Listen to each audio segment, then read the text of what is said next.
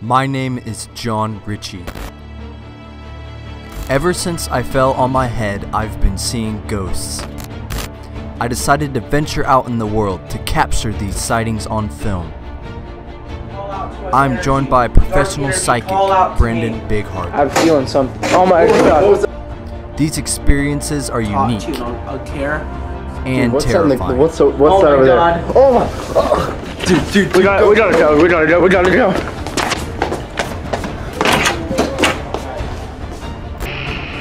Together we uncover these mysteries and never back down from an encounter with the supernatural. The show that you will fear the most. Toast those ghosts. On this episode, we will be investigating Stillwater High School, home of the famous Pioneer Spirit Stick. The locals here say that they have witnessed paranormal activity. We will find those ghosts and we will toast those ghosts. If if we pay taxes every week, then shouldn't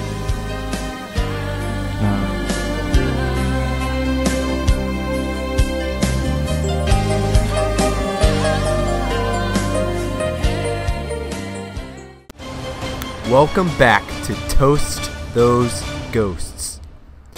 We are about to set up for the lock in at Stillwater High School in hopes that we will encounter some spirits. Before we began the investigation, I decided to meet with the school's night shift janitor, Daryl Morrell.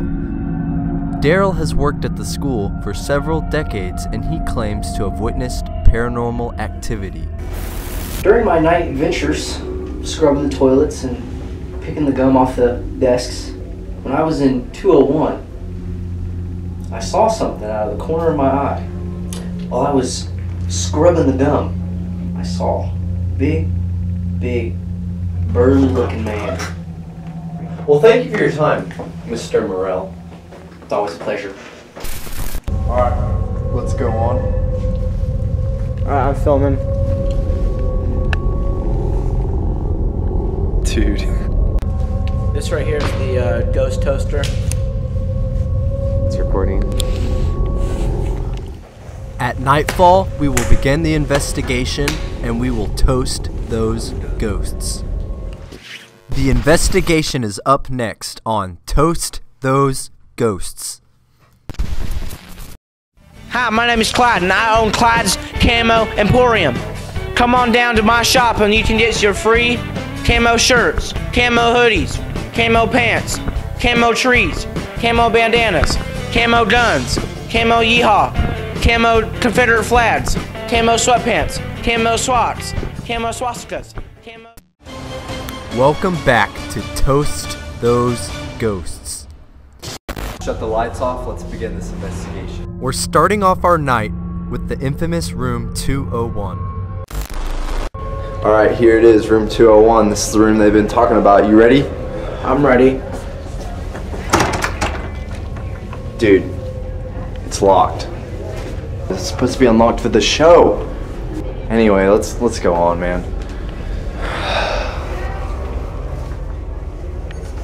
We decided to go to the wrestling room. It smells bad, which often is a sign of high paranormal activity.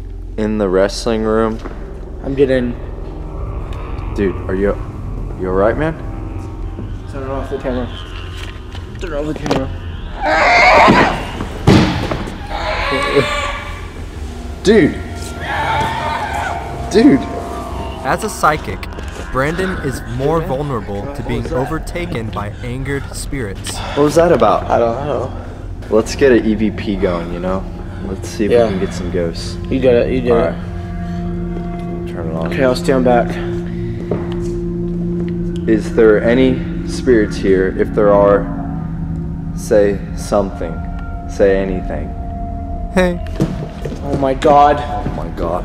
Dude, I don't like this. I don't like this. Okay, let's go, let's go, let's go. Oh my god! Oh! Go, go, go, go, go, go, go, go! there is no doubt that Stillwater High School is haunted. The only thing more terrifying than the ghosts are the people that come to school here on a daily basis. Continue with Brandon and I next week as we investigate the Whole Foods Market in Cottonwood Heights, Utah. Until next time on Toast Those Ghosts.